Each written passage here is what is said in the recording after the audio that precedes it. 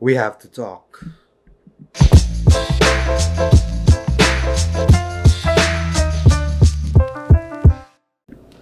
Some of you may know that I am in a long distance relationship with my girlfriend. So we've been together for a little over a year, maybe 13 months, one year, one month, and we've been apart for almost six months now. And everything's going well, everything's okay.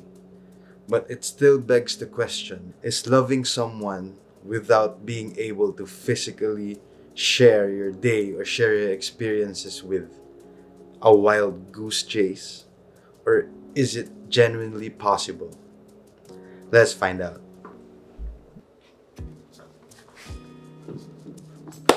Okay, so first let's start with the numbers 14 million.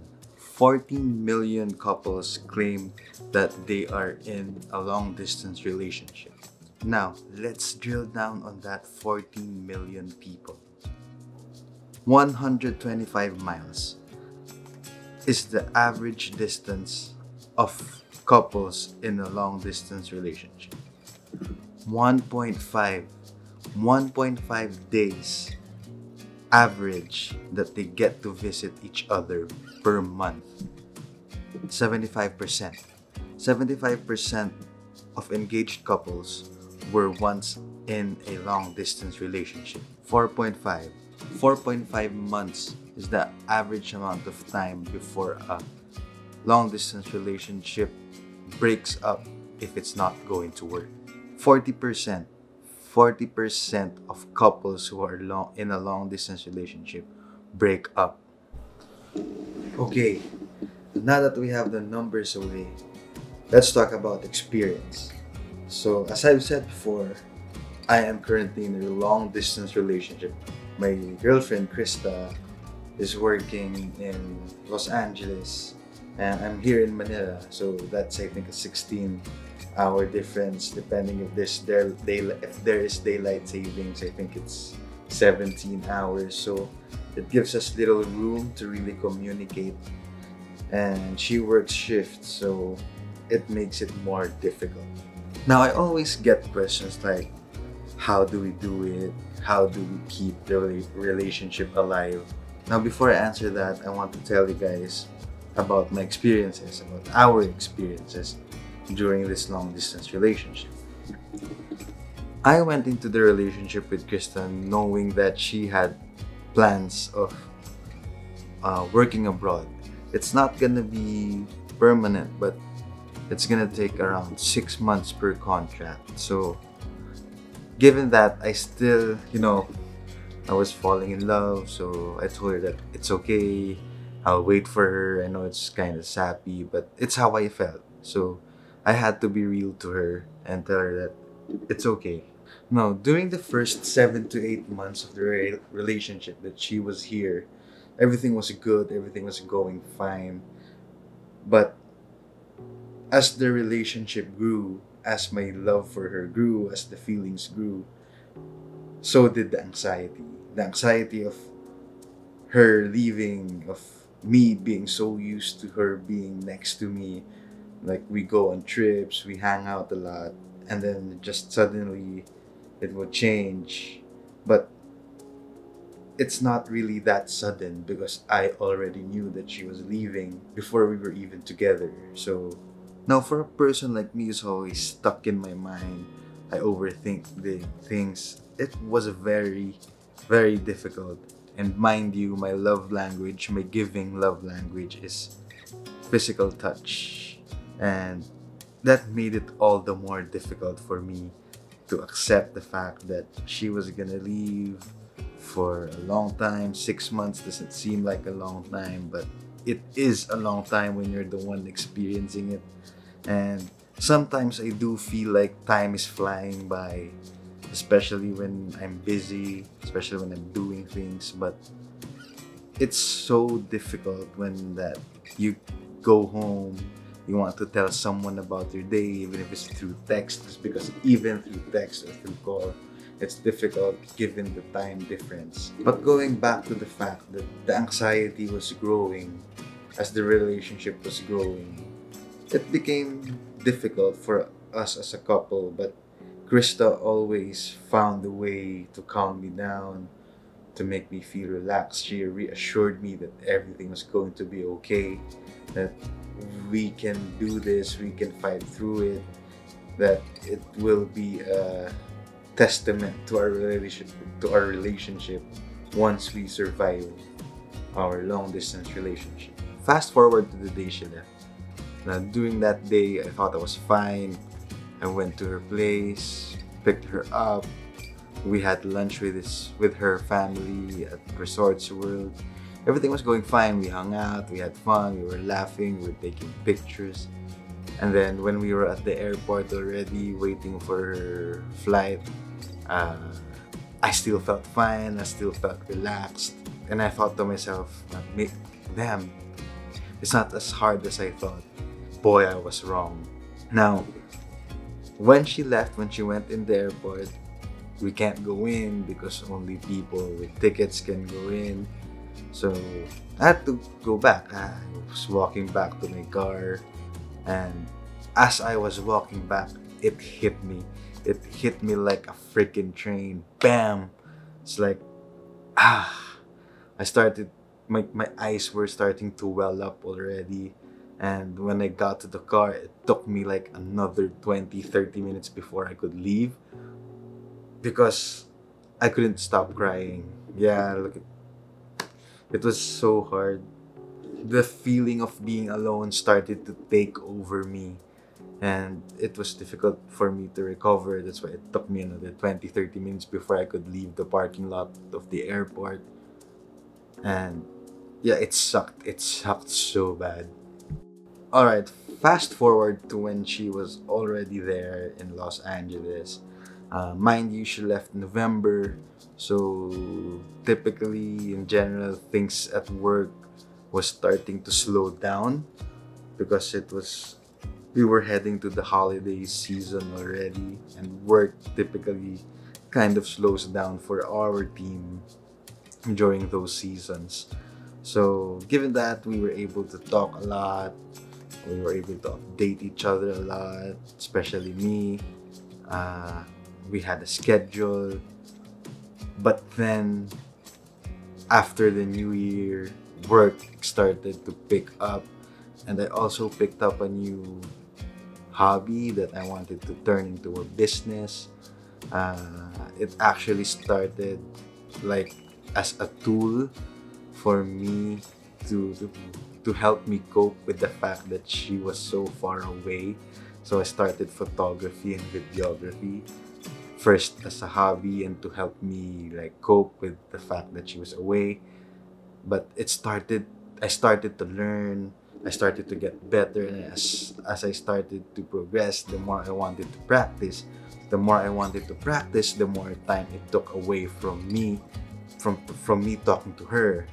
So everything was starting to not really fall apart, but you can feel like it was heading there. We were fighting, and it we were fighting not a, we were fighting often. So it was just difficult time because it was I got I found it hard to balance my time. But then I had the chance to take a step back uh, this was during February, so I was given the chance to take a step back, reassess my plate. Was my plate really full, or did I just need to rearrange things in my plate? So when I started to think that, I started to realize that I have to give time for Krista if I wanted to make it work. And during that time, I started to find pockets of time wherein I get to talk to her. I scheduled filming, practicing will be nighttime when around like 6 to 10 p.m. when she was asleep. And then when she woke up early, we get to talk a little bit before I went to bed. And then I get to uh, talk to her during lunch break And now that I'm working from home, I get to talk to her a little bit more. So in my mind, I was starting to draft like a schedule, like when was the best time to call her, when was the best time to practice photography and videography. Work was fixed, it was still eight hours. But I was able to find pockets where, wherein I knew I could talk to her. So it worked really well for me. We're starting to everything was starting to feel like man this could really work. Not not that i thought like it wasn't going to work to begin with but it was more of the feeling like i finally found my footing. We found we finally found that sweet spot wherein we can do what we want for ourselves but at the same time dedicate time for each other. And it's it makes me so happy that I did not give up. And I know there were times that it was easier to give up but we decided to fight through it. We decided to give ourselves the best chance to to keep the relationship going because we knew we knew in our hearts that we we love each uh, each other but uh, sometimes it makes you, you, do you know the saying that sometimes love just isn't enough?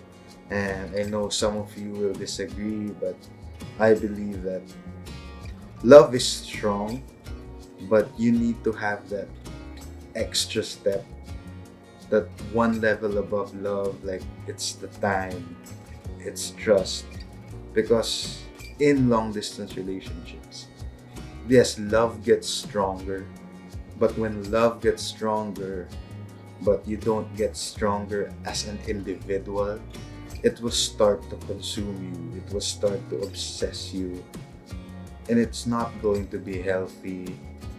So you guys if you're in a long distance relationship you have to work on it together I have I'm lucky enough to have people around me who are going through the same thing. I have a friend that she's been with the guy for like five years and I think four four out of the five years it's been a long distance relationship. I mean imagine that. And it gives me like the hope that it could really work out. Now four years versus what I'm going through that it's like six months six months six months she goes home six months she then she leaves for another six months. It's it's difficult because you know it's all relative and for someone like me whose love language again is physical touch who I'm always stuck in my head which I'm trying to change I'm trying to improve it's it's difficult it's more difficult for me so, to wrap things up, I want to share with you the things that I've learned while I'm in this long distance relationship. One is to always have a plan, make a schedule, uh, make it a point to have time for each other because communication is so important, especially for her part. She was the one going into a different environment uh, she was the one who left her family behind. She was starting from scratch. She was, it was so lucky, I mean, that she got to go there with her best friend, which helped her a lot. But still, she, she needs, or whoever the person is going away, they need, they need un, they need to be understood that sometimes they're going to be really clingy and that's okay just be there for them. But you also have to communicate with them when it gets a little bit too much for you because you don't want to give too much out wherein you don't leave anything for yourself anymore. So that's one. So two is to anticipate changes. Anticipate those changes that can mess up your routine that can mess up your schedule that can maybe take away from your communication time.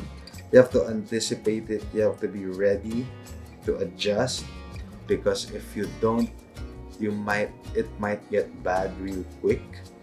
Uh, take it from me, we experienced it. I wasn't able to anticipate changes. I thought that my schedule last November will be the same all throughout until she comes back, which isn't the case. Uh, schedules changes so quick, and we have to be ready for that. We don't want to get too complacent. We don't want to get too comfortable because comfort is what will kill a relationship. I believe whether or not it's long distance or not. So there, that's number two. Three is trust. Trust is such a big thing. It's not just trusting each other that you won't be cheating on each other, that you there won't be any third parties, but it's trusting the fact that the both of you are working on the relationship, that both of you are working to make the relationship successful. It's trusting that the promises you made each other will remain unbroken. It's trusting the fact that every day that you are apart is a day closer to you being together again. So you have to trust trust the process, trust each other, trust that everything will be okay and that trust that everything will make you stronger as a couple, stronger as individuals, and trust that it will prevail, that patience will prevail, that your love, your trust for each other, your respect for each other will prevail at the end of the day. And last but not the least is to put God at the center of your relationship. It's helped me a lot uh, especially the the past month that I was starting to feel super anxious every day. Uh, I started to I was starting to slip. I was in my mind a lot, and that's when I really turned to God for me. I started to pray for her. I started to pray for myself. I even started to uh, worship more, and it really helped me. And it made me realize that if you put God at the center of your relationship, it will become stronger, so much stronger than what you thought. It will bring you to different levels, and yeah, it's so important. And with that, uh, I bid you guys goodbye. Subscribe if you haven't already. Hit the like button Comment if this is something you resonate with. And see you at the next one. Peace.